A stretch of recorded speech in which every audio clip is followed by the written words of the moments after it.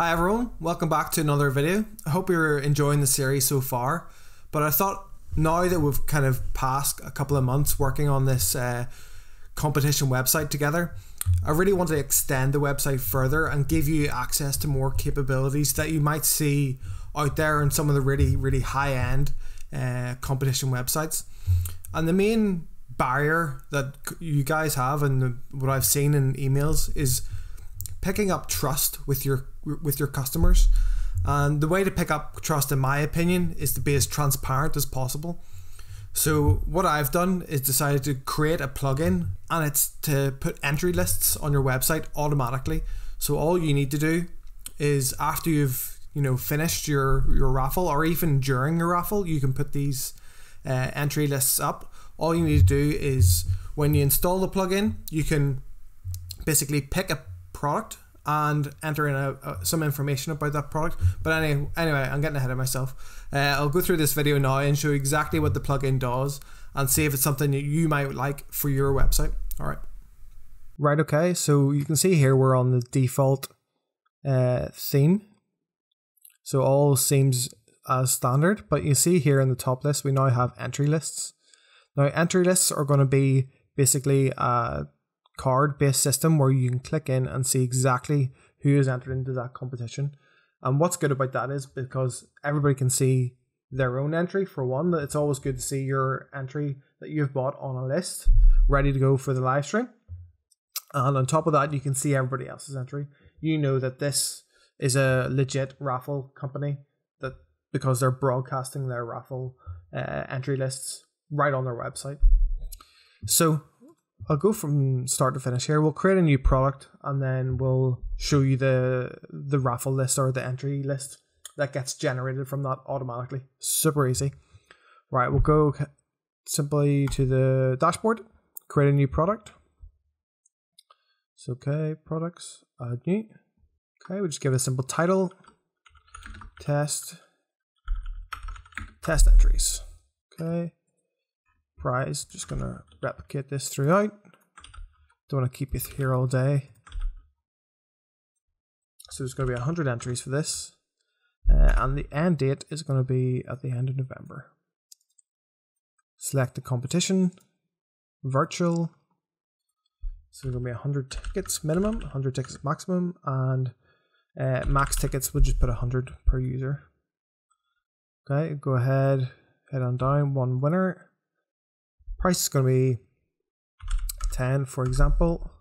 We're going to start that competition right now. So we can just click on today and also finish it on the 30th. So as you would see in the previous videos, what you want to do is then add to allow ticket numbers.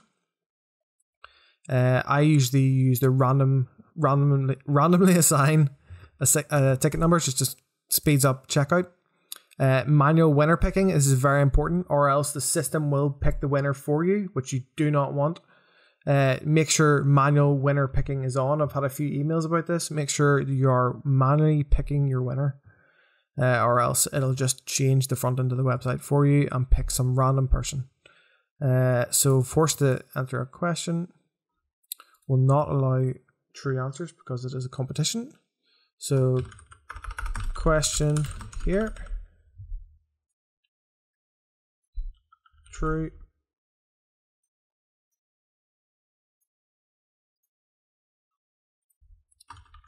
False and false.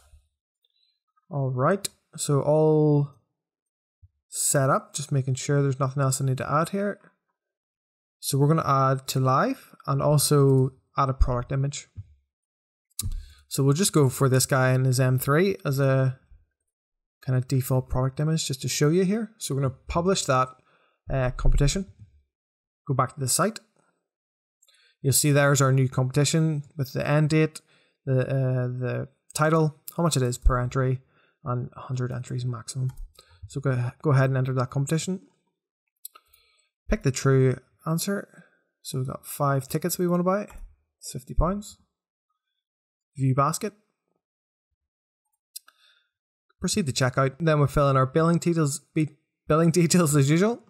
Happy enough with those. Cash on delivery. Uh, obviously, just as a test payment, you'll obviously have your uh, trust payments uh, set up here, and that's in obviously part nine of the the video series to set up your own DIY raffle website. Uh, place order, and there we go. There, there's our five tickets. So 13, 20, 20, 49, 82, and 100. Uh, and we have answered true. Okay, so now on to the main part of the video where we go and create a ticket list so that people can see, uh, well, everyone, because it's in the public domain, can see exactly who's entered that competition. Not exactly who's entered into, into it, but I'll show you in a wee second what I mean by that. So once you've installed the plugin, I'll put a link in the description for this plugin if you do want to purchase it. So go ahead, ticket lists, all ticket lists. So we just want to add a new ticket list. And what we're going to do is go give it a title. So this is going to be test entries. And this is really just for your own records, this title, so that doesn't come up in the front end of the website. Uh, from the drop down, we're going to select the product that we've just created, test entries. If you do have a lot of products here, just make sure you just search in the top box and you'll be able to find it. Uh, the draw date is uh, on the 30th.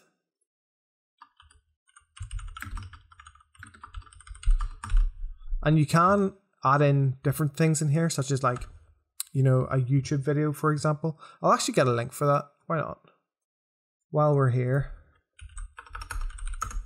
You can embed YouTube videos very simply on the website. All you need to do is copy um, a YouTube video link in directly into those boxes and it'll embed for you.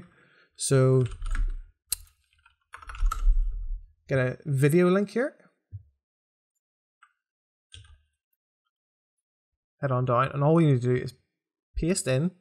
So I'm actually going to show you what this looks like.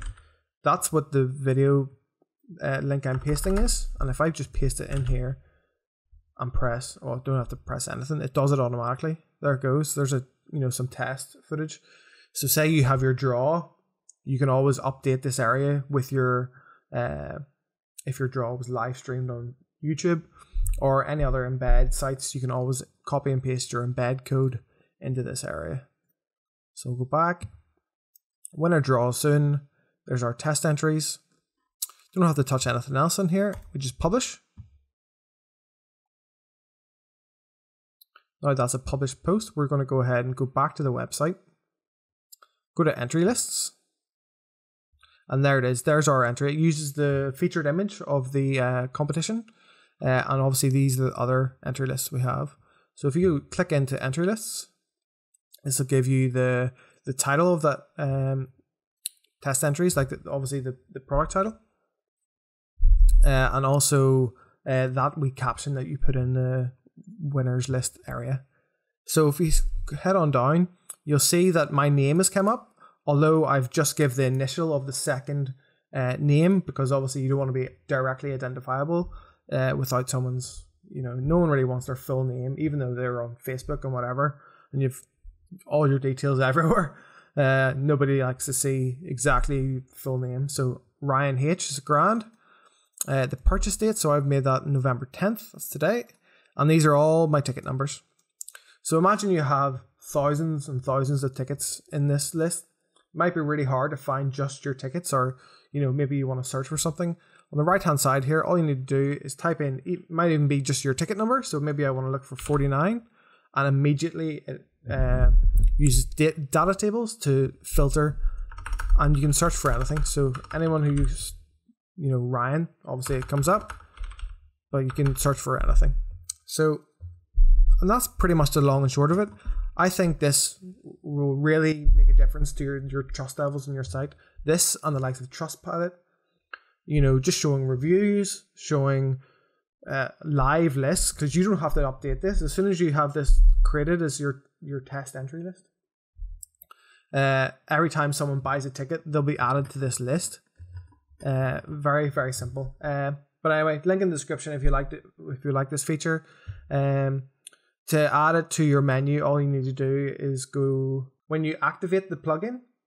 Uh, entry lists will be created, and all you need to do is click it from the list and add to menu, and then that'll be uh, that'll be there waiting for you. Uh, simple as that. Just save the menu. Make sure you're on menu one, Uh, and that's it. Any, uh, if you have any questions, get in, t- get in contact, and I'll hopefully uh, be able to help you out. All right. Cheers. Bye.